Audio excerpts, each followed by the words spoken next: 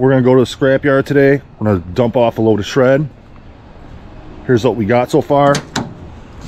We got two water heaters. Look how gross that one is. Like it threw up all over itself.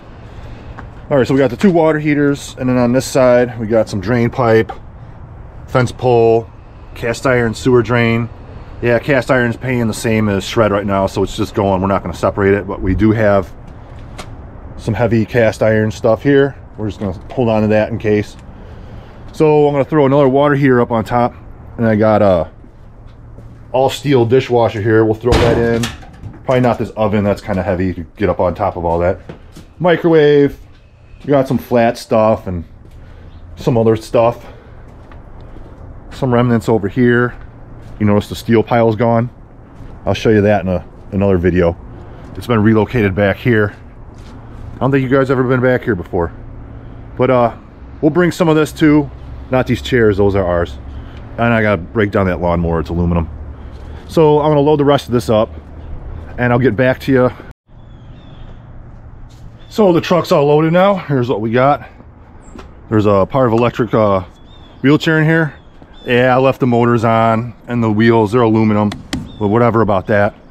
Got an old school blower for a furnace. Look at that. 1967. I was keeping it to replace mine in case mine broke, but I just took the motor off because it's it's too long and too wide. Mine's a little thinner. There's a third water heater. We got an exercise ski machine thing, some chairs, rack thing. There's the steel dishwasher. So nothing major in here, just, you know, shred. So we'll go run this in and I'll see you at the scrapyard.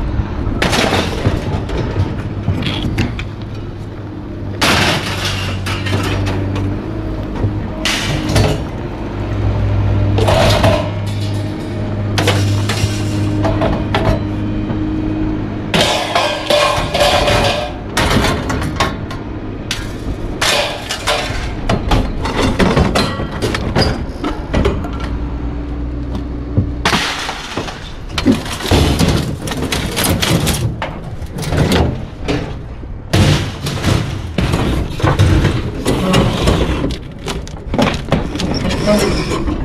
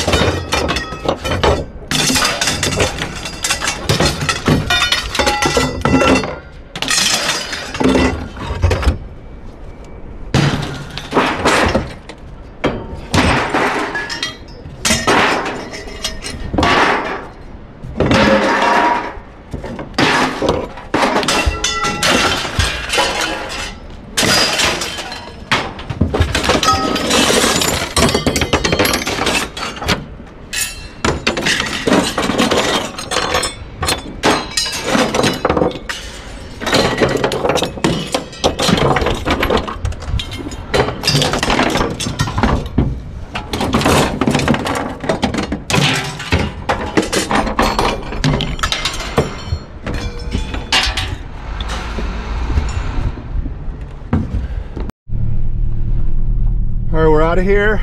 Let's go back on the scale. I think we weighed in at 49.40 or 49.20. So that should be a good load considering I got half, half a tank of gas. So let's see.